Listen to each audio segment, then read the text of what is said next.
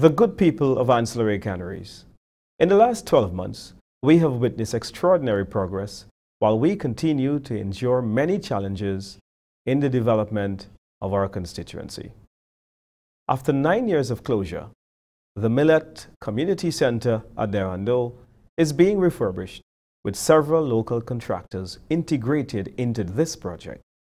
When completed by the first quarter of next year, we will have a new hub for human resource development, community meetings, and recreational initiatives.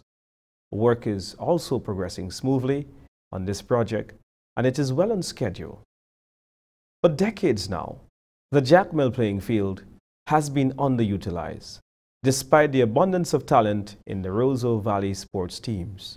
Today, I am happy to reflect on the phenomenal job the contractors have started and once completed will assume the title as the Mecca for sports in the Roseau Valley. Residents of Anse La Raye have and continue to endure less than ideal conditions at the present health center. Demolition work has begun and a new health center for Anse La Raye to improve on the health services of the community is well on its way. Our government through the Ministry of Health is at a very advanced stage in finalizing a bolt agreement with NIPRO to construct a state-of-the-art health center. As we celebrate this Christmas season, though, I am full of gratitude to the Water and Sewage Company Wasco for the successful opening of a new water catchment at Canaries. A new water pump and storage tank facility have also been commissioned to improve water supply in Techimer. Meanwhile, Phase 1 of restoration works on the John Compton Dam, also in Techimer, is near completion to enhance water supply island-wide.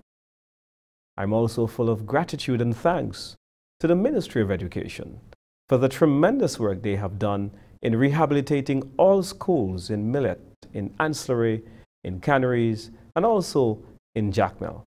This is to allow our students an improved learning environment as they pursue their education.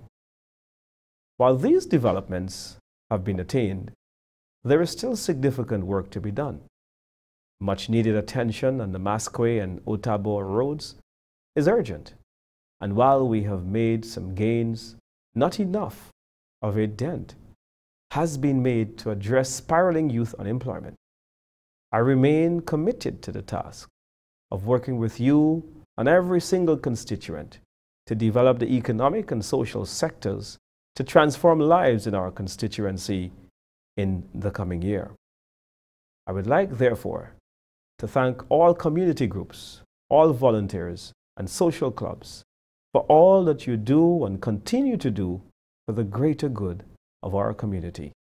Let us find inspiration from the many victories we have had this past year as we aim for more success in the coming year.